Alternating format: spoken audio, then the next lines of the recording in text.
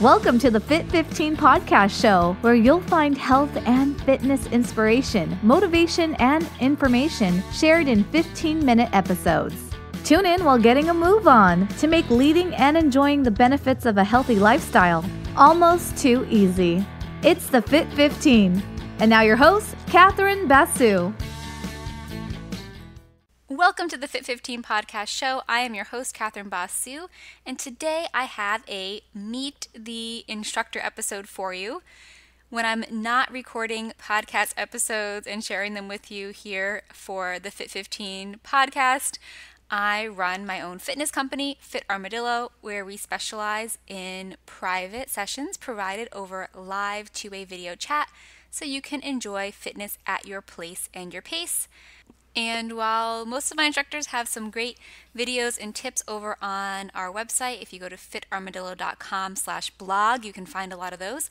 I thought it would be fun to do this series where you get to meet my instructors on the podcast show. So last week I chatted with our yoga instructor, who is also my personal private yoga instructor, Kayla. So if you want to listen to some episodes with her and get to know her a little bit better, you can go and check out those episodes. And today I'm bringing on our Pilates instructor, Harjit.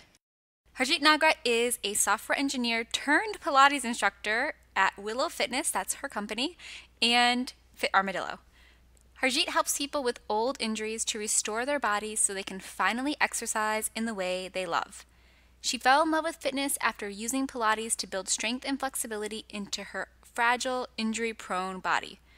When she's not teaching online or in Toronto, Canada, you can find Harjit exploring new ways to move and challenge herself in dance classes, Essentrics, and circus. Welcome to the podcast, Harjit. I'm so excited to have you joining us today. Oh, I'm so excited to be here as well. Awesome. Well, I love to. I mean, we we did a little bio there, but could you share with us your fitness journey in a little more detail. How did you actually get from, you know, your start to where you are now in terms of your interest in fitness and how that's progressed? You could say that my fitness journey really started when I was in my mid 20s. It was a time when I was just getting a lot of injuries. Um, so, a lot of muscle strains. I kept getting tennis elbow, um, repetitive strain injuries to my wrists. And eventually, we figured out that I had problems with hypermobility, that my um, the tissues, so the all the connective tissues in my body, such as my muscles, my tendons, my ligaments, um, even like my blood vessels, that they were super stretchy and my doctor said I needed to do Pilates. My first experience of Pilates was in a hospital setting, and I have to say, it I was not impressed. it was boring, and I didn't see how those exercises were going to help me address um, the problems I was having in my body. And that was the point where I almost quit. It wasn't until I went home and I Googled Pilates and then I saw images where for example, this woman was using a Pilates piece of equipment called the reformer, and she was doing an exercise. I think it was called this. It was a star, where she was sideways on the reformer, and one leg, one arm was in the air, and it just it looked very acrobatic. It looked fun and it looked exciting, and I thought that's the kind of Pilates I want to do. But of course, you have to start with the basics, and that's kind of what lit my fire and kept me going all like all over these years. So eventually you know i took teacher training and i did a whole lot of work on my body and i got to the point where i was recovered enough that i started taking circus art classes so aerial arts trapeze silks and i i joined an aerial performance team where we trained. I was training four times a week, two hours at a time, uh, like over 10 months. And we did two aerial shows, and it was super hard and at the same time extremely rewarding. It was incredible that I could actually do it.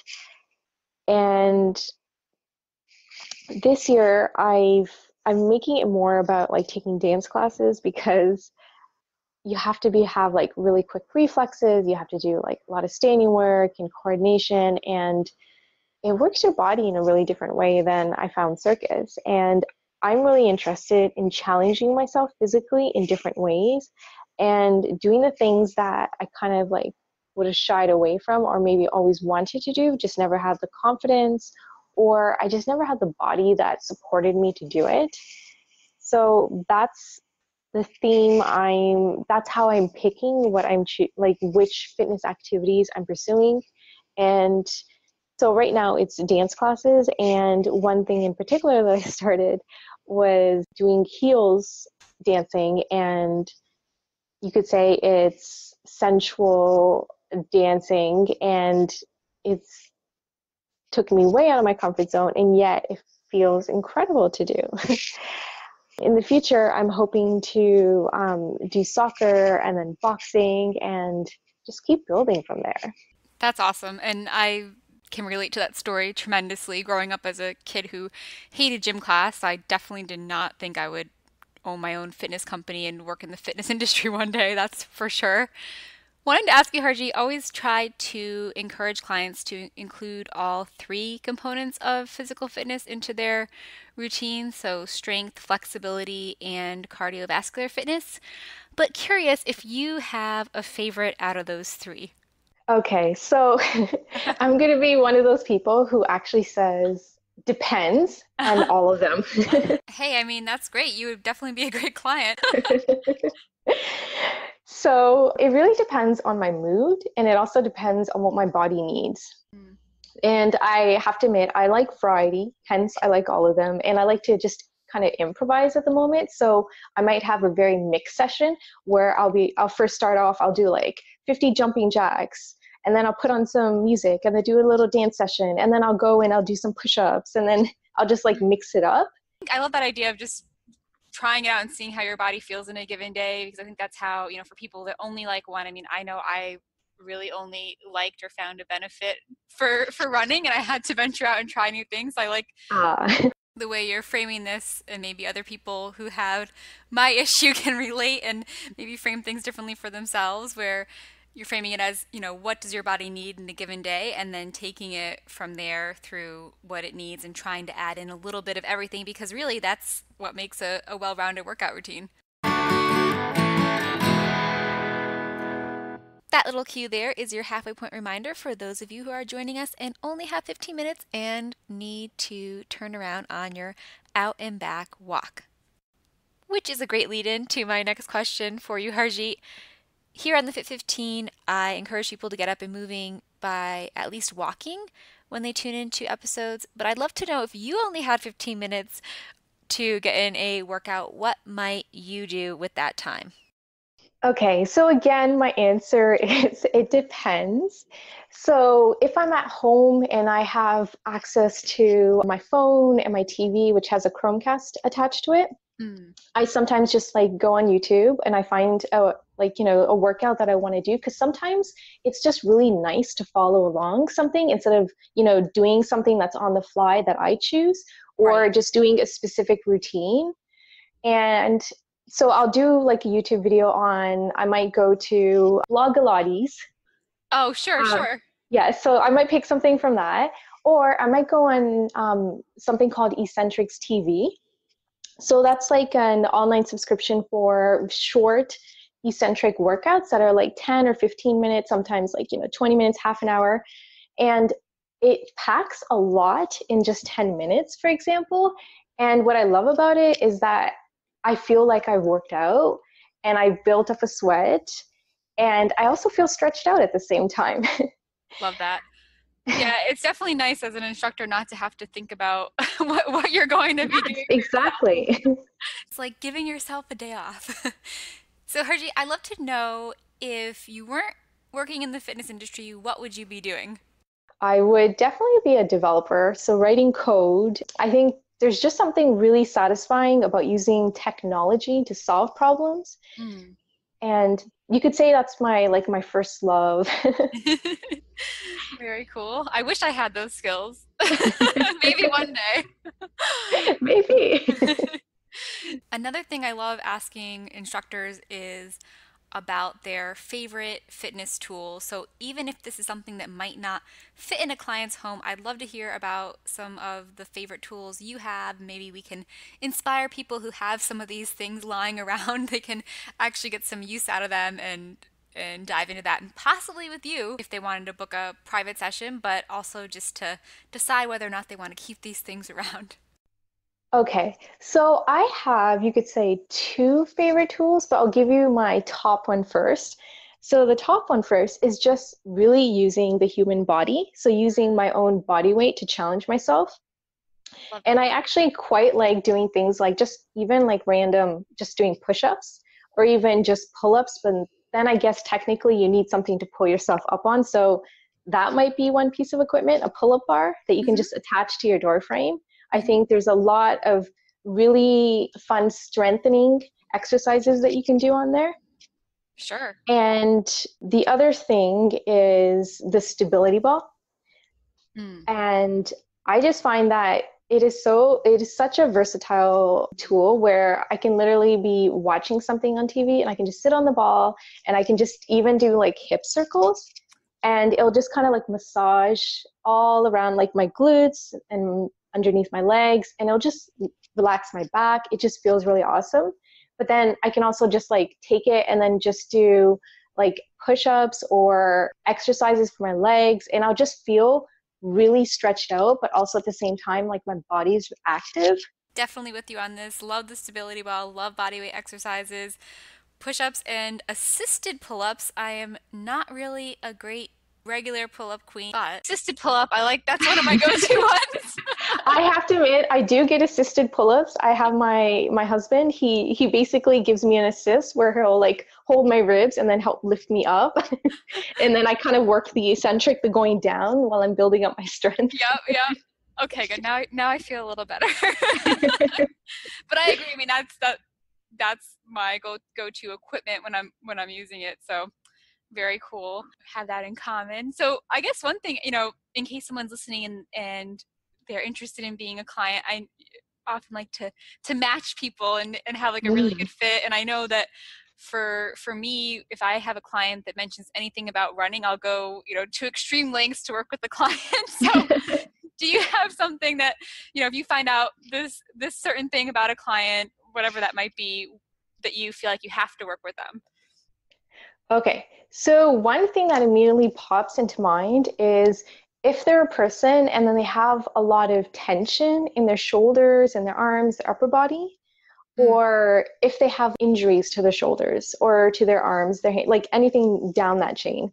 And it's just the reason for that is that it just hits really close to home. Because of my chronic condition, I just I had a lot of problems with my arms and I got to the point where I couldn't even do like say the fine motor control with my hands and I had trouble with just like doing handwriting and you know just even using cutlery. I couldn't do grocery shopping and it just when you can't use your arms right, it impacts your life in every way. Mm. So I just really feel for those people and it's just something that if I see them having, you know, any kind of issue like that, it's like when I see them, it's the first thing that I always check to see what their shoulders are doing and, you know, how it relates to the torso, the core strength, and yeah. Love that. No, I mean that's great that you can you'll be, you'd be able to relate to them in that way and and be able to to help them out from your firsthand experience as well. All right, to wrap up today's episode and keep things fun, I'd love to hear from you, Harji, a fun fact about you, something the listeners might not know about, even if they're clients of yours and have been following Fit Armadillo for a while. All right, a fun fact about me. Last year, um, when I was in the aerial performance team, we braided together four different silks, made a silk tree, and then we climbed it as if we were tree nymphs. It was pretty fun. Very cool. Well, thank you so much for for kind of giving us an insight and allowing us to to meet you a little bit more through the podcast format.